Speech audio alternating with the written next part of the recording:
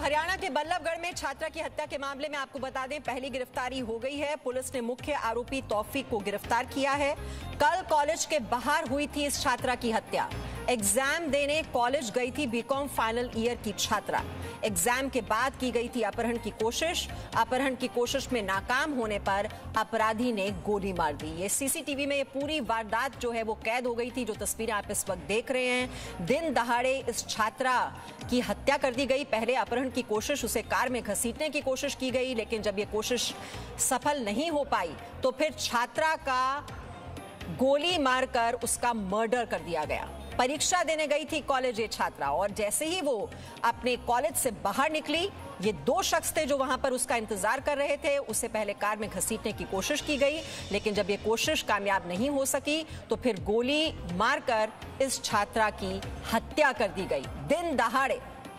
और मुख्य जो आरोपी है तौफीक, उसकी गिरफ्तारी हो गई है, लेकिन उसके साथ जो साथी आया था, दूसरा शख्स, वो अभी भी पुलिस की गिरफ्त से बाहर है। और ये जो आप तस्वीरें देख रहे हैं, ये जो वहाँ सीसीटीवी लगा हुआ था, उसी में तस्वीरें रिकॉर्ड हो गई।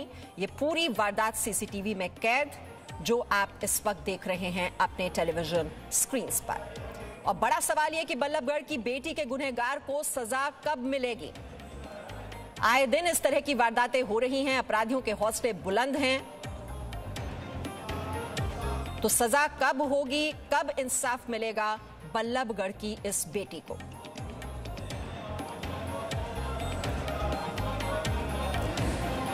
और इसी घटना के खिलाफ विरोध प्रदर्शन भी हो रहा है। जो स्थानीय लोग हैं, उनमें ज़बरदस्त गुस्सा है, रोष है इस घटना को लेकर।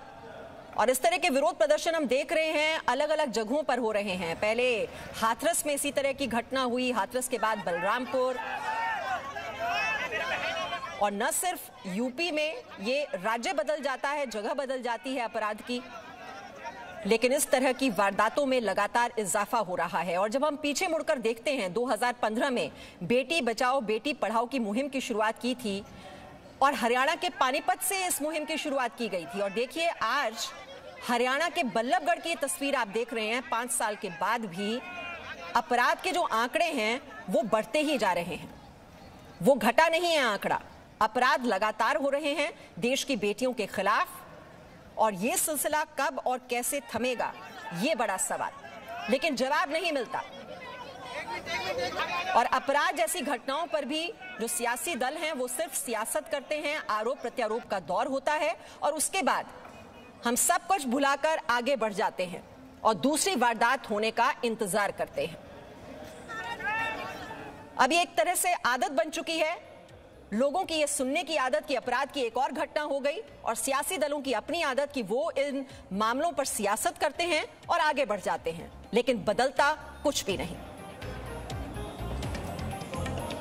देखिए, अभी नवरात्र का पावन पर्व था, जो कि पूरी धूमधाम से पूरे देश में मनाया गया। बड़ी बड़ी बातें हुई कि बेटियों को देवी के तौर पर पूजा जाना चाहिए। कन्या पूजन होता है, लेकिन उसके बाद की ये तस्वीर दिल दहला देने वाली, बहुत ही शर्मनाक। इंसानियत को शर्मसार कर देने वाली।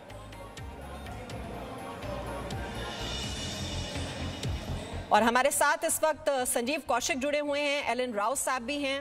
एलन राव साहब, मेरा बहुत सवाल बार बार घूमकर देखिए, वही आ जाता है। ये कब रुके रुकेगा, कैसे रुकेगा? अपराध पर लगाम कैसे कसेगी? हम ऐसे ही इस देश में देखेंगे कि बेटियों की बलि इसी तरह से चढ़ती रहेगी। देखिए मीमांसा जी, ये रुकेगा, कब रुकेगा? जब एक तरफ़ तो पुलिस और प्रशासन सख्त होंगे इन अपराधियों के खिलाफ और दूसरा, सामाजिक जो बुराई है, मैं इसको सामाजिक बुराई समझता हूँ, हमारी मानसिकता को चेंज करना होगा। हमारे समाज में बहु बेटियों का और बहनों की इज़्ज़त करने के लिए हमारे अपने बच्चों को सिखाना होगा, शुरू से ही। स्कूल लेवल से पहले घर से, फिर स्कूल से, फिर समाज में रहते हुए उनको बताना होगा कि ऐसी बहन बेटियाँ और जो हैं वो आपके भी घर में हैं। ये सब जब तक दिमाग में, इन अपराधियों के दिमाग में नहीं आएगा, तब तक ये सिचुएशन सुधरने वाली नहीं है। और इसके लिए मैं सब, सबको जिम्मेवार समझता हूँ, हमारे समाज को, हमारे माता पिता को, हमारे टीचर्स को स्कूल कॉलेजेस में जो सिखाते हैं उनको भी। और जब तक ये ये मानसिकता चेंज नहीं होगी, और उसके साथ साथ अपराध कभी खत्म नहीं हो सकते, ये मैं आपको तुरंत क्लियर कर दूँ, अपराध होंगे, लेकिन अपराधों में कमी लाना पुलिस की जिम्मेवारी है, अपराधों को रोकना पुलिस की जिम्मेवारी है। अगर अपराध हो जाता है, उसकी इन्वेस्टिगेशन इस तरीके से की जाए कि अपराधी उस सजा से बच नहीं पाए। हमारे देश में सबसे बड़ी जो कानूनी प्रक्रिया है, वो एक तो लंबी प्रक्रिया है, और उसमें भी एक ये प्रावधान है कि सौ निन्यानवे गुनागार बच जाए, लेकिन एक बेगुना नहीं बचना हमारा सिद्धांत है इस पर कहीं ना कहीं अपराधी लॉन्ग ट्रायल की वजह से बहुत लंबे समय की ट्रायल की वजह से जी लेकिन राव साहब यहाँ हकीकत तो ये हो रही है ना संदीप कौशिक जी कि जगह बदल जाती है अपराध की लेकिन अपराध नहीं बदलता और न ही उस पर होने वाली सियासत बदलती है। मैं मानता भी इसके लिए मेरा मानना है कि नकारा कानून व्यवस्था लचर सरकार की ढुलमुल रणनीति और कहीं ना कहीं इसके लिए अदालतें भी दोषी है और उसको भी हम दोषी इसलिए मानते हैं क्योंकि सब कुछ आपके सामने और हमारे सामने घटता है। निर्भया जैसा कांड हम देखते हैं और उसको अदालतों में सिद्ध करने के लिए कि ये दोषी है, हमें सात साल से ज़्यादा वक्त लग जाता है इसके बारे में सरकारें क्यों नहीं संजीदगी से कोई काम करती और उसके बारे में ठोस एक रणनीति बना करके कम समय में इन अपराधियों को कम से कम सजा मिले ताकि लोगों के जेहन में जाए कि ऐसे अपराधी को कहीं समाज और कानून बख्शने नहीं जा रहा और जल्दी से जल्दी उनको बहुत कड़े सजा का सामना करना पड़ेगा। तो ये भय जो होना चाहिए कानून व्यवस्था को लेकर के वो भय नहीं है समाज में आज के वक्त में। और इसके लिए निश्चित तौर पे कहीं ना कहीं हम अपने राजनेताओं को भी दोष देते हैं क्योंकि ये बड़े बड़े वादे करके सदन में पहुँच तो जाते हैं लेकिन पहुँचने के बाद में सारी वादे भूल जाते हैं वो जी बिल्कुल ना पुलिस का खौफ है ना ही कानून का खौफ है। देशरतन निगम जी भी हमारे साथ हैं। देश रतन निगम जी 2015 में प्रधानमंत्री नरेंद्र मोदी ने हरियाणा से ही बेटी बचाओ बेटी पढ़ाओ मिशन की शुरुआत की थी। लेकिन उसके बाद के आंकड़ों पर अगर नज़र डालें तो ये बढ़ते ही जा रहे हैं। 2016 में नौ ये एनसीआरबी के मैं आंकड़े कोट कर रही हूँ।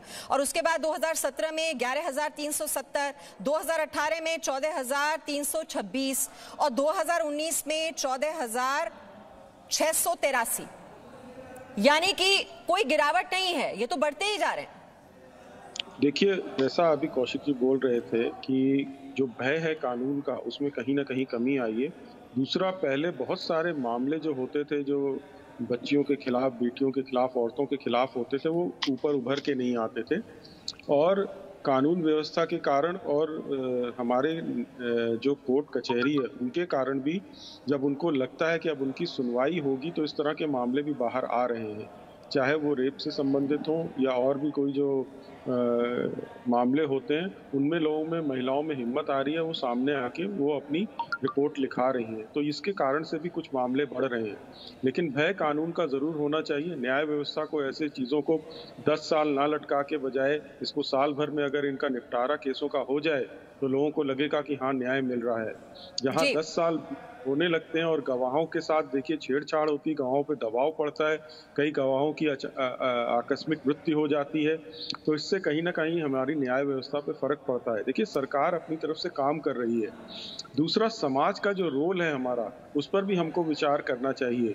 कहीं ना कहीं हमारी समाज की जो ज़िम्मेदारी है वो भी कहीं ना कहीं से ए, कमी नज़र आती है। यही बात प्रधानमंत्री नरेंद्र मोदी ने भी कही थी कि जो हमारी मानसिकता है कि हम बेटियों से तो बहुत सवाल पूछते हैं, लेकिन बेटों से हम कब सवाल पूछना शुरू करेंगे? जब तक ये मानसिकता नहीं बदल लेगी, तब तक हम जमीनी स्तर पर बदलाव भी इस समाज में नहीं देख पाएँगे। विशाल पांडे हमारे साथ हैं। विशाल, आप तो हाथरस में इतने दिन रहे। वहाँ पर जिस तरह की अपराध की घटना हुई, हमने सियासी पर्यटन भी होते हुए खूब देखा। अब ये बल्लभगढ़ में हो गई। तो जगह बदल रही है, लेकिन हम कह रहे हैं कि अपराध के जो आंकड़े हैं, वो नहीं थम रहे। और बिल्कुल मीमांसा के और ख़ास तौर पर जो महिलाओं के खिलाफ अपराध है, जो बेटियों की सुरक्षा होनी चाहिए, वो नहीं हो पा रहा है। और जिस तरह की घटना बल्लभगढ़ में हुई है, वो दिखाती है कि अपराधियों के हौसले कितने ज़्यादा बुलंद होते जा रहे हैं। बेटियाँ कब सुरक्षित होंगी?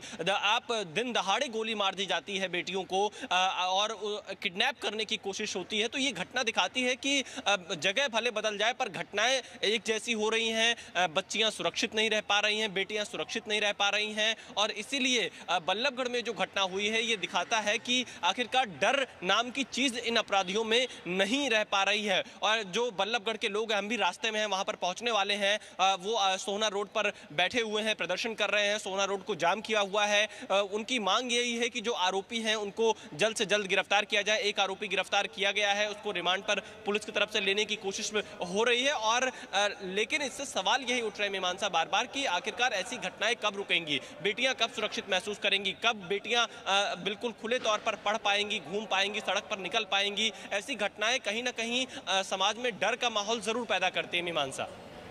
जी, बिल्कुल, और इस वक्त हमें जो जानकारी मिल रही है, पुलिस मौके पर पहुँची हुई है और तौफीक जो मुख्य आरोपी है, उसकी गिरफ्तारी हो गई है, लेकिन जैसा कि आप इन तस्वीरों में भी देख पा रहे हैं, ये दो शख्स आए थे, इनमें से एक की गिरफ्तारी अभी तक हुई है, लेकिन एक आरोपी अभी भी पुलिस की गिरफ्त से बाहर है। और ये आप देख रहे हैं, मौके पर पुलिस पहुँची हुई है। वहाँ पर ये कुछ सबूत जुटाने की कोशिश की जा रही है। ये जी न्यूज़ पर आप सबसे पहले घटनास्थल से तस्वीरें देख रहे हैं और कैसे वहाँ पर पुलिस अब किस तरह से छानबीन में जुटी है, उसकी तस्वीरें आप इस वक्त देख रहे हैं। Presenting B news available on Google Play and app store download it now